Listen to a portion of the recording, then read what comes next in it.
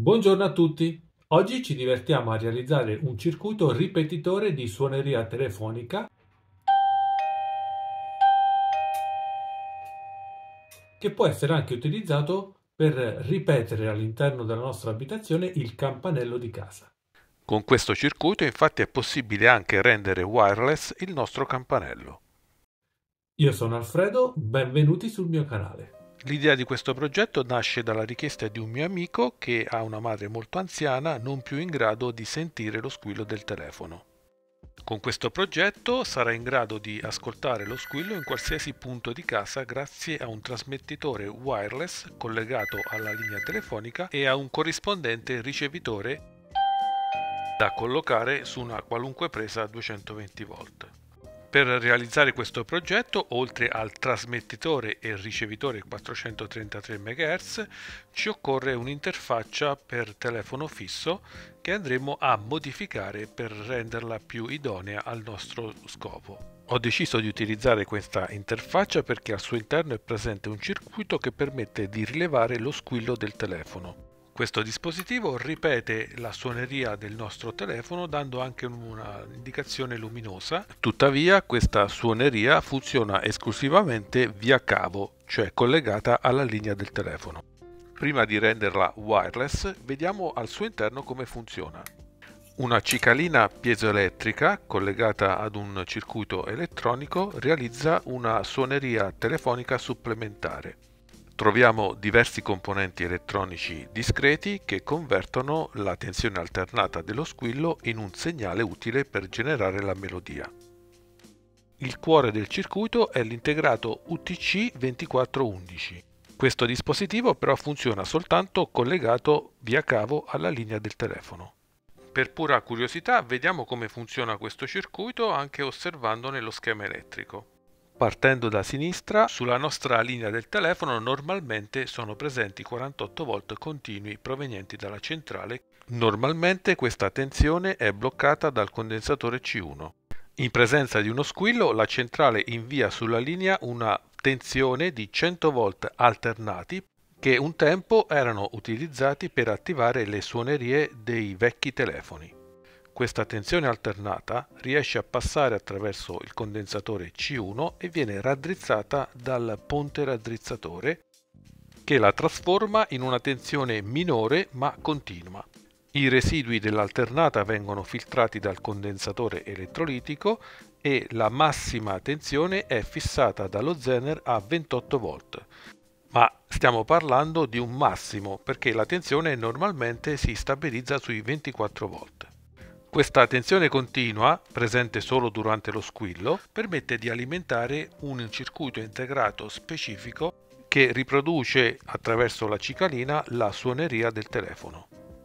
Questo integrato infatti non è che una suoneria telefonica elettronica che dispone di due oscillatori, uno per il segnale acuto e l'altro per l'intermittenza di questo segnale acuto. Questo segnale modulato a bassa frequenza viene riprodotto dall'altoparlante posto in uscita. Per il mio progetto specifico tuttavia non utilizzerò questo integrato perché non voglio la suoneria via cavo ma una suoneria wireless, per questo dovrò collegarci il mio trasmettitore radiofrequenza.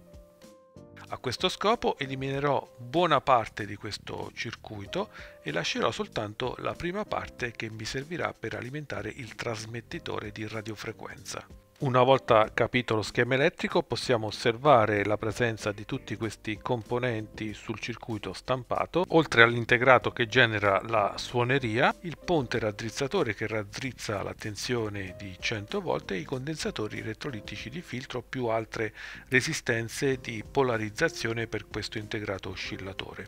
Prima di eliminare tutti questi componenti, compresa anche la cicalina piezoelettrica, per pura curiosità, vediamone il funzionamento applicando una tensione continua a questa suoneria.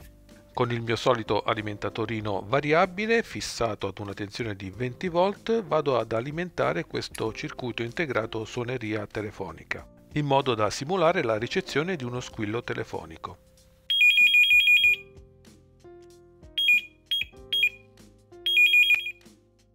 Questa suoneria funziona con una tensione minima di 20 volt.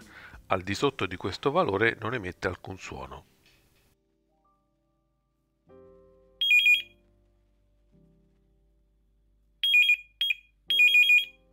Bene, una volta che abbiamo capito il funzionamento di questo circuito elettronico possiamo andare a eliminare tutti i componenti che non ci interessano lasciando soltanto il ponte raddrizzatore e il condensatore elettrolitico di filtro in uscita. Posso anche eliminare il diodo Zener perché da alcune prove effettuate la tensione non supera i 24 volt. Vado ad effettuare queste dissaldature. Per velocizzare la dissaldatura di tutti questi componenti utilizzo un apposito fornetto elettrico. Dotato di termostato di regolazione della temperatura, questo fornelletto serve per stagnare i terminali. Una resistenza riscalda lo stagno presente nel contenitore rendendolo liquido. Una volta che avrà raggiunto la temperatura permette di dissaldare più velocemente i componenti elettronici e a tal proposito mi raccomando utilizzate sempre una ventola di aspirazione perché vi ricordo che i fumi dello stagno sono altamente tossici. Qualche secondo di immersione a filo di stagno e con delle pinzette è possibile rimuovere qualsiasi componente elettronico. Questa tecnica viene utilizzata per recuperare componenti discreti da vecchie schede PCB e permette di dissaldare componenti elettronici senza danneggiarli. Vi ricordo che in descrizione inserirò tutti i link per l'acquisto di questi attrezzi che vedete utilizzati nei miei video. Questa procedura può essere utilizzata ogni qualvolta si devono rimuovere grandi quantità di componenti elettronici discreti in maniera veloce e agevole. Chiaramente dovrete stare attenti perché la superficie del fornelletto è bollente e rischiate di scottarvi. Consiglio inoltre l'utilizzo di occhiali di protezione. Al termine lascerò sul circuito stampato soltanto questi componenti che mi permettono di ricavare i 24 volt continui dallo squillo del telefono. A questo punto mi procuro il trasmettitore e il ricevitore 433 MHz, venduti come ripetitori wireless di campanello. Il kit comprende un modulo ricevitore e un modulo trasmettitore un piccolo modulo SMD dotato di antenna e due fili di alimentazione che possono essere collegati ad una tensione sia essa continua o alternata che varia da 3 a 24 volt. E 24 volt è esattamente la tensione all'uscita dal ponte raddrizzatore del mio circuito ripetitore di suoneria telefonica. Il ricevitore invece viene collegato alla 220 in qualsiasi punto della casa dotato di due pulsanti per scorrere tra le 58 melodie e un pulsante per i livelli di volume. La portata del trasmettitore dipende dalla sua posizione, in generale arriviamo fino a 100 metri, più che sufficienti anche per ville con più piani. All'interno della stessa scatola troviamo sia il trasmettitore che il ricevitore un manuale di istruzioni in varie lingue attraverso il quale è possibile effettuare i collegamenti al nostro campanello di casa. Quest'ultimo dovrà essere necessariamente di 24 volt alternati o continui. Il modulo trasmettitore non accetta tensioni superiori a 24 volt e quindi un campanello 220 volt collegato in parallelo lo distruggerà. Per ovviare è possibile utilizzare un trasformatore da 24 volt. Nella confezione troviamo il ricevitore funzionante a 220 volt, consumo abbastanza ridotto 0,5 watt. Infine il modulo trasmettitore molto piccolo SMD sul quale troviamo un condensatore elettrolitico di filtro, diversi diodi di raddrizzamento e un risuonatore ceramico ai 433 MHz collegato naturalmente all'antenna di trasmissione che è il cavo di colore grigio, mentre i due cavi rossi andranno collegati alla tensione di alimentazione sia essa continua o alternata massima di 24 volt.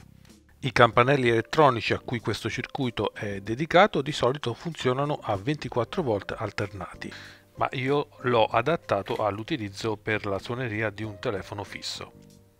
Andiamo a collegare questo trasmettitore al nostro circuito privato di tutti i componenti superflui. L'assorbimento del modulo trasmettitore infatti è talmente irrisorio dell'ordine di qualche milliampere per cui possiamo alimentarlo con la corrente diretta fornita dalla centrale telefonica. Con un utilizzatore con maggiore assorbimento avremmo dovuto utilizzare un fotodiodo di disaccoppiamento, un relè e un alimentatore a parte. Prima di rimontare il circuito nel contenitore originario vado ad effettuare qualche collaudo. Andiamo ad alimentare il trasmettitore, il ricevitore è già alimentato, colleghiamo una tensione di 12 volt a questo circuito per verificarne il corretto funzionamento.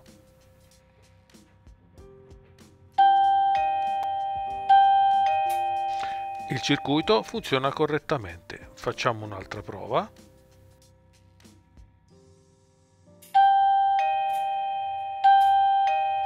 Bene, ora che ho verificato il corretto funzionamento posso procedere oltre. È il momento di rimontare il tutto per testare sul campo. Ho scelto di acquistare questo dispositivo piuttosto che farlo da zero perché il suo costo è di gran lunga inferiore al costo dei singoli suoi componenti. Il contenitore infatti mi permette di ospitare sia il circuito di conversione della tensione che il circuito trasmettitore 433 MHz. Per quest'ultimo faccio fuoriuscire l'antenna al di fuori della scatola per aumentarne la portata. Le antenne lasciate in aria libera infatti danno una maggior portata a qualsiasi segnale radio. Fisso il tutto con l'utilizzo di colla a caldo. Sempre con la colla a caldo realizzo una piccola guida d'onda per il LED presente sul trasmettitore che segnalerà la trasmissione della frequenza 433 MHz e sono pronto per un test sul campo. Prima di effettuare i collegamenti a questo dispositivo trasmettitore, in un altro punto della casa, lontano dal trasmettitore, collego il ricevitore alla 220 volt. Dall'altra parte ho collegato ad una delle prese RJ11 il telefono e dall'altra la linea proveniente dal muro. Andiamo ad effettuare una chiamata e vedere se il nostro trasmettitore trasmette correttamente lo squillo del telefono che sarà anche visibile con l'accensione del LED.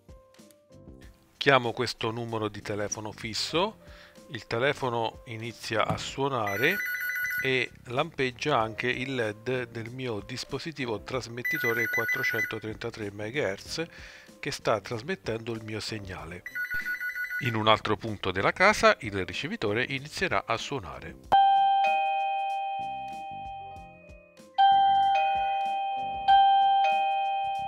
Con i tre pulsanti presenti è possibile scegliere tra 58 melodie e 5 livelli sonori.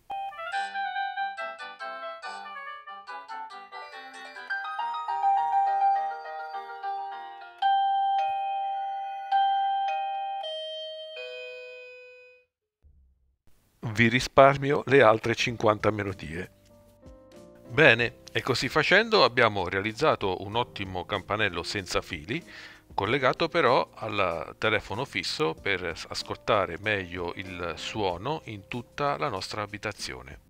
Si tratta di una ottima soluzione per tutte quelle persone anziane che non hanno più la capacità di sentire il suono del telefono o del campanello di casa.